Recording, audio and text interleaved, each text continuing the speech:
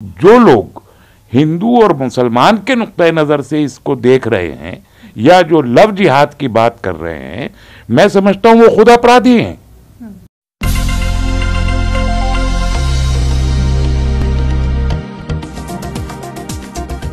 बहुत बहुत स्वागत है आपका जनहित आवाज़ में। मैं हूँ आपके साथ पूजा और अभी हमारे साथ हैं एसडीपीआई के पूर्व नेता तस्लीम रहमानी जी।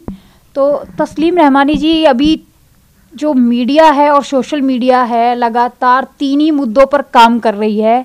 एक तो एमसीडी चुनाव हो गया, गुजरात हिमाचल चुनाव हो गया और एक आफ्ताब हो गया। तो सबसे पहले हम बात करेंगे आफ्ताब पे। तो ये जो आफ्ताब का जो मामला सामने निकल कर आया है, फिर से जो है एक बार इस कौम को, मुस्लिम कौम को फिर से सर झुकाने वाला काम किया है। पैंतीस टुकड़े जो उस लड़की के मिले हैं, श्रद्धा के तो फिर से ये मामला को जो है भुनाया जा रहा है या वाकई में ये ये घिनौना कार्य तो किया है, लेकिन फिर से मुस्लिम कौम पे जो है उंगलियाँ उठ रही हैं। इस पर क्या कहना चाहेंगे? नहीं, इस किस्म के वाकयात से उंगलियाँ किसी एक कौम पे नहीं उठती, हिंदू, मुसलमान, सिख, ईसाई से इससे कोई फ़र्क नहीं पड़ता। ये एक दरिंदगी है, एक वहशत है, एक हैवानियत है, एक जहालत है, और जो भी ऐसा कोई लफ्ज़ हो सकता हो, वो है। इससे मुस्लिम कौम से कोई ताल्लुक नहीं, भारत के ऊपर उंगलियाँ उठ रही हैं। निर्भया का केस हुआ था, इससे भी, वो भी ऐसे ही जघन्य था इतना ही खतरनाक था। और पूरा देश खड़ा हुआ था, और पूरे देश ने मुतालबा किया था कि सज़ा में बदलाव किया जाए, और जुडिशरी ने भी कुछ किया था। हम सब की ये पूरे देश की उम्मीद थी कि निर्भया के बाद अब ऐसे वाकयात नहीं होंगे। बदकिस्मती ये है कि निर्भया के बाद भी रोज़ाना हम इससे मिलते जुलते वाकयात देश में कहीं ना कहीं मुस्तकिल देख रहे हैं। तो ये सवाल मुसलमानों पर नहीं उठता है, ये सवाल देश पे उठ रहा है। अब जहाँ तक इस लड़के का ताल्लुक है, इसका नाम आफ्ताब है। तो आफ्ताब हो या फिरोज़ हो, इस किस्म के ये फ़ारसी लफ्ज़ हैं। फ़ारसी के नाम बहुत लोग रखते हैं। तो बहुत से पारसी लोग खसूस अपने नाम पर्शियन लैंग्वेज में रखते हैं। तो अभी ये तय नहीं है कि ये पारसी है या मुसलमान है या कौन है, ये अभी भी तो तहकीक का मुद्दा है। हो सकता है कि ये पारसी हो। लेकिन इससे कतर नज़र कि ये पारसी है या मुसलमान है, मुझे इसमें नहीं जाना। ये हिंदू भी होता तब भी, ये ईसाई होता है, सिख होता तब भी। ये भारत का एक नागरिक है। और इसने ये अपराध किया है जिसकी सज़ा मौत से कम नहीं होनी चाहिए, अगर ये साबित होता है। तो इसमें क्यों कोई इफ़ और बट की बात है ही नहीं? हमारे देश की बदकिस्मती ये है कि दुनिया भर में सबसे ज़्यादा क्राइम अगेंस्ट वुमेन भारत में होते हैं। हर 10 सेकंड सॉरी 35 सेकंड पे एक महिला का मोलेस्टेशन या रेप भारत में होता है। और इसके चलते और ऐसे और बहुत सारे जो यहाँ जघन्य अपराध होते हैं या हेट मॉन्गरिंग है हेट स्पीचीज हैं, या ये रेप है। हम, मैंने पहले भी कहा था कि सेफ्टी इंडेक्स में इंडिया लोवेस्ट लोअर पेडिस्टल पे चला गया। दुनिया में जो सेफ्टी का इंडेक्स नापा जाता है, उसमें अब भारत को ट्रैवलिंग करने के लिए सारी दुनिया में एक खतरनाक मुल्क करार दिया गया है। तो ये किस पे सवाल उठता है? ये तो भारत पे सवाल है। तो जो लोग हिंदू और मुसलमान के नुक़ नज़र से इसको देख रहे हैं, या जो लव जिहाद की बात कर रहे हैं, मैं समझता हूँ वो खुद अपराधी हैं। क्योंकि एक देश, देखिए श्रद्धा का एक बायोलॉजिकल फादर है जो उसके बाप हैं। लेकिन हम भी उसके बाप हैं। हमारे एज ग्रुप के जितने लोग इस देश में, चाहे उनका जो भी मज़हब हो, हम सबकी बेटी है। और हमारी बेटियों के साथ अगर इस मुल्क में ये हो रहा है तो वो लोग जो इसको हिंदू और मुसलमान का चश्मा लगा के देख रहे हैं, मैं उनको भी देशद्रोही के जुमरे में रखता हूँ। कि ये भी एक देशद्रोह है कि आप एक सोशल क्राइम को, एक हेनस सोशल क्राइम को, आप मज़हब का चश्मा लगा के देखते हैं। और कौन लोग देख रहे हैं? आप इस पे राजनीति करने का ये मुद्दा नहीं है हम्म। तकलीफ़ है मन के अंदर तकलीफ़ है। और हर बार जब ये किस्सा सुनते हैं किसी भी बेटी के साथ हो चाहे वो दलित की हो चाहे वो हिंदू की हो या मुसलमान जिसकी भी हो अंदर मन को तकलीफ़ होती है। आप यकीन कीजिए कि मैं ये सोच के उसको देखता हूँ कि ये बेटी मेरी भी तो हो सकती थी। कौन देख रहा है कि किस किसका क्या धर्म है? मेरी भी हो सकती है, आपकी भी हो सकती, किसी की भी हो सकती है। ये देखना चाहिए। अब उस पर अगर हिंदू महासभा के लोग या विश्व हिंदू परिषद के लोग या बीजेपी के लोग या आरएसएस के लोग या किसी के भी लोग अगर इसको लव जिहाद कहकर इसको आइसोलेट करना चाहते हैं और उस पर इलेक्शन के समय पे राजनीति करना चाहते हैं तो अपने आप में अपराध है।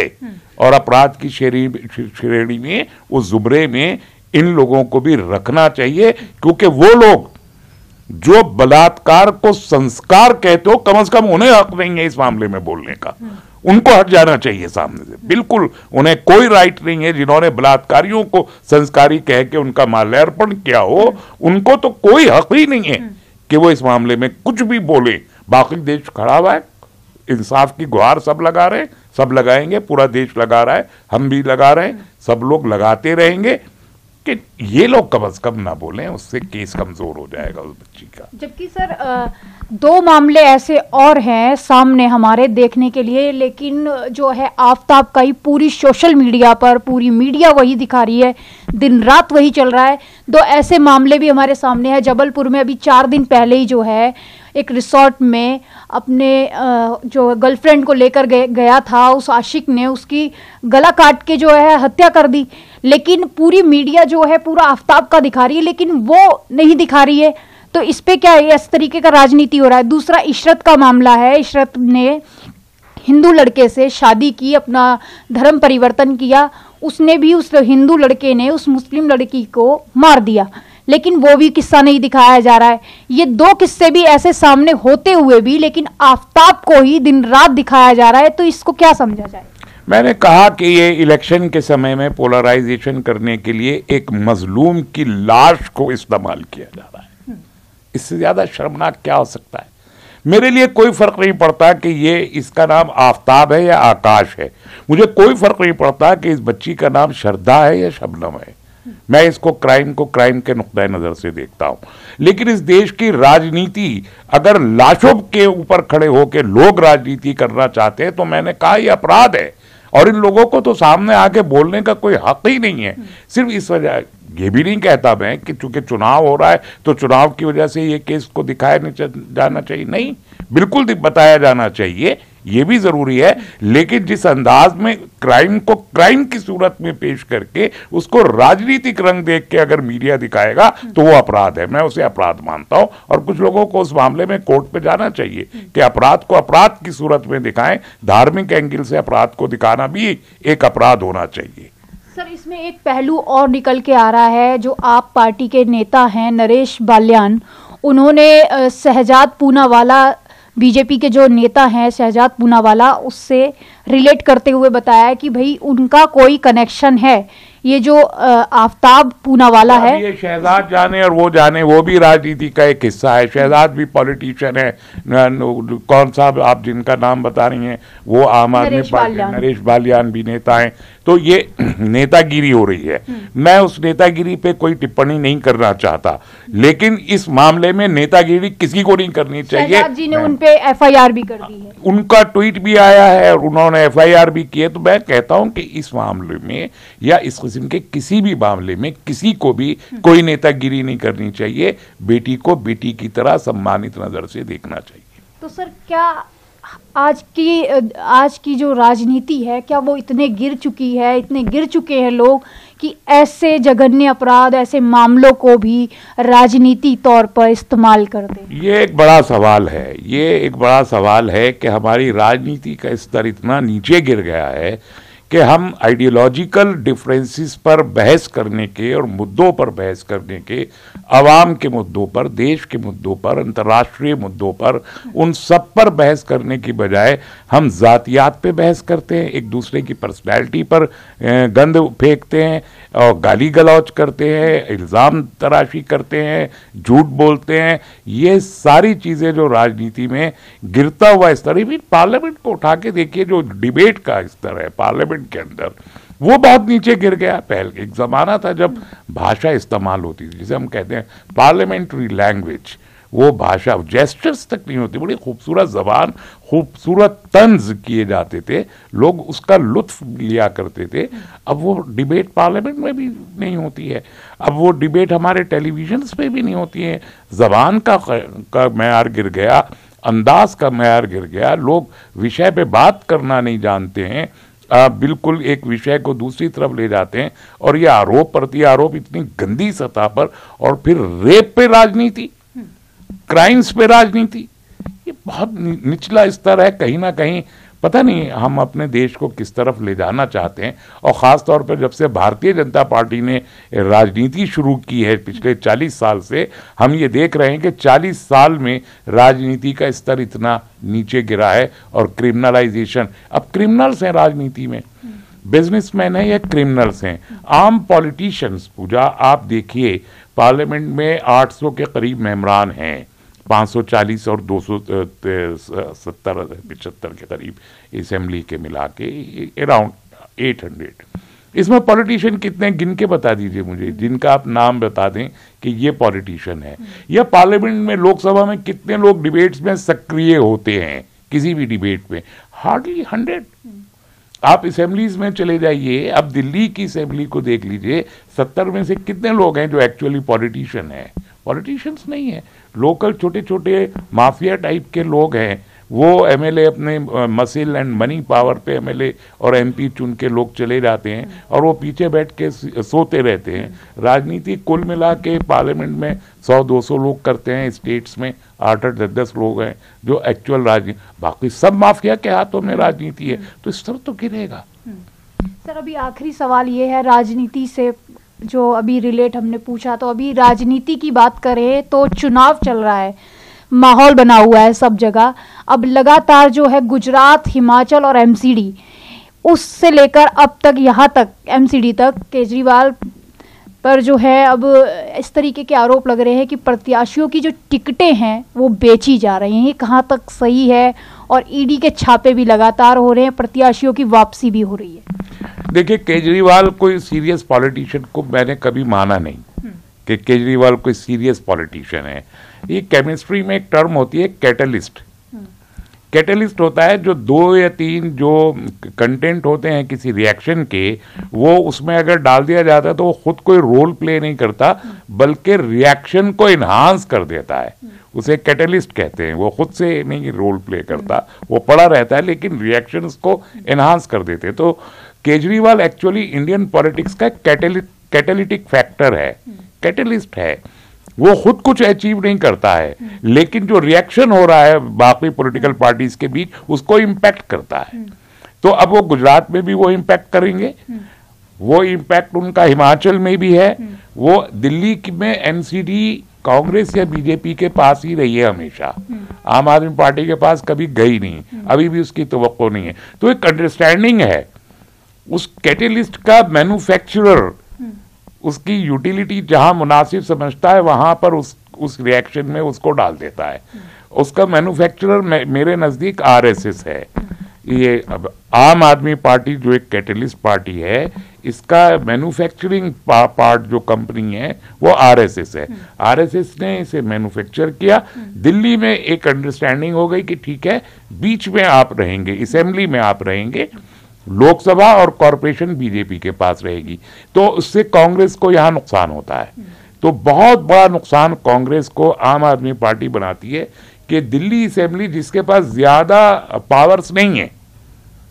पावर्स है पार्लियामेंटेरियन के पास में, पावर है म्यूनिसिपल कॉरपोरेशन के पास में। वहाँ बीजेपी रहती है और जहाँ पावरलेस है गवर्नमेंट, दिल्ली की वहाँ पर आम आदमी पार्टी रहती है। आप उत्तराखंड में देखिए आम आदमी पार्टी ने कांग्रेस को हराने का काम किया खुद कुछ नहीं जीता। गोवा में आप देखिए उन्होंने हराने का काम किया। आप पूरा इलेक्शन का एनालिसिस कर लीजिए गोवा में। बीजेपी जीत ही नहीं सकती थी अगर वहाँ आम आदमी पार्टी नहीं होती। पंजाब में कांग्रेस को हराना था और बीजेपी के पास अपना कोई जनाधार नहीं था। तो उन्होंने अपना वोट ट्रांसफ़र किया बीजेपी ने। और आरएसएस ने आम आदमी पार्टी को और एक लूली लंगड़ी सरकार पंजाब के लोगों को थमा दी जो बॉर्डर स्टेट है और बहुत ही सेंसिटिव स्टेट है। हम्म, हम्म। उस सेंसिटिव स्टेट में आम आदमी पार्टी के हवाले आरएसएस ने सरकार करी। अभी गुजरात में जो जा रहे हैं मैं आज भी रिपोर्ट्स देख रहा था कि खुद सूरत में कुछ खास नहीं है। खुद वहाँ के लोग कह रहे हैं कि नहीं ये जीतने वाला नहीं है। लेकिन वोट बर्बाद करके वो बीजेपी जो 27 साल बाद हारने जा रही है गुजरात में उसको कुछ भी फ़ायदा पहुँचा सकते हैं तो वो फ़ायदा वहाँ केजरीवाल पहुंचाएँगे। अगर बीजेपी की सरकार बनी तो आप देखिएगा कि केजरीवाल का वोट शेयर कितना है जिसकी मदद से बनी वो आंकड़े बता देंगे 8 दिसंबर के बाद। तो, हिमाचल में he is going to gain nothing likewise Delhi Delhi municipal corporation में कांग्रेस और आम आदमी पार्टी ही एक दूसरे के वोट बांटेंगे। बीजेपी हम्म। का वोट इंटैक्ट रहेगा और आप देखिएगा कि अल्टीमेटली दिल्ली एमसीडी में यही आम आदमी पार्टी बीजेपी को फ़ायदा पहुंचाती हुई दिखाई देगी। तो सर मतलब कि मान लिया जाए कि केजरीवाल जो आप आम आदमी पार्टी है जो आम आदमी बोलकर आई थी खास पार्टी हो गई है और बी टीम है क्या? उस संघ की और उस बीजेपी की? नहीं ये बी टीम नहीं है ये। ए एंड ए वन है। ए एंड ए प्लस तो बीजेपी ए प्लस है और ये ए है। ये बी हम्म। नहीं है। हाँ। ये तो दू, एक दूसरे के सप्लीमेंट कॉम्प्लीमेंट है। पूरक संपूरक जिसे कहते हैं। हम्म। ये वो है ये ए बी नहीं है। ये लोग जो ए बी की कहकर इनको क्लासिफाई करते हैं हाँ। मुझे वो क्लासिफिकेशन ठीक नहीं लगता। एक ही है ये एक ही सिक्के के दो रुख हैं। एक जरा सामने दिखता है पीछे से नहीं दिखता है। तो इसी तरह है इसके अलावा तरीके से ठगा जा रहा है लोगों को। लोगों को बेवकूफ़ बनाया जा रहा है। परसेप्शन क्रिएट ये देखिए इलेक्शन परसेप्शन पे होता है। परसेप्शन हम्म। मीडिया बनाता है। और मीडिया, अब अगर हिमाचल में मीडिया आम आदमी पार्टी को इम्पोर्टेंस देने लगे तो एक परसेप्शन बिल्टअप होने लगेगा। जैसे समाजवादी पार्टी को बहुत ज़्यादा मीडिया ने हाईलाइट किया यूपी में परसेप्शन क्रिएट किया। और बीएसपी जो वहाँ पर सेकेंड लार्जेस्ट पार्टी थी, उसको कोई आपने अहमियत ही नहीं दी। तो इससे परसेप्शन बना के आपने वो वोट जो बीजेपी का एंटी वोट था उसको पोलराइज करके एक तरफ़ मार्जिनलाइज कर दिया समाजवादी पार्टी के ज़रिए। क्योंकि वो अगर बिखर के मुख्तलिफ़ जगहों पे जाता तो बीजेपी को नुकसान होता यूपी में। तो यूपी में मीडिया के ज़रिए परसेप्शन समाजवादी पार्टी का क्रिएट करके और वोट को पोलराइज करके। तो मुख्तलिफ़ स्टेट्स में मुख्तलिफ़ सूरतें होती हैं मुख्तलिफ़ सरकमस्टांसिस होते हैं तो उसके लिए मुख्तलिफ़ स्ट्रेटजी बनानी पड़ती है। यूपी की स्ट्रेटजी ये थी कि सब पोलराइज करके समाजवादी की तरफ़ डाल दो और अपना वोट खींच लो। गुजरात की स्ट्रेटजी दूसरी है। वहाँ पर आम आदमी पार्टी को ताकत दे के वोट को जो है सेकुलर वोट को बांटा जाएगा। चलिए बहुत बहुत शुक्रिया। तो अभी हमारे साथ तस्लीम रहमानी जी थे, जिन्होंने बताया कि किस तरीके से वोट की चोट जो दी जा रही है और वोट का गेम खेला जा रहा है, किस तरीके से बी टीम बोला जाता है, लेकिन बी टीम ना होकर के संघ के ही हैं। केजरीवाल जी, उन पे आरोप ही नहीं, अब ये सत्यारोपित भी हो गया है, सत्य उन पे जो इस तरीके के लगते आए हैं आरोप। वो सत्य भी निकल के आ रहे हैं, क्योंकि संघ के ही बताए जा रहे हैं और लगातार उनको बी टीम जो है आज खारिज करते हुए तस्लीम जी ने कहा कि वो बी टीम नहीं बीजेपी की सिमिलर पार्टी है और एक साथ चल रहे हैं, सिक्के के दो पहलू हैं जो लोगों को समझने चाहिए। तो इसी के साथ देखते रहिए जनित आवाज़, मेरे सहयोगी धर्मेंद्र के साथ में पूजा, दिल्ली।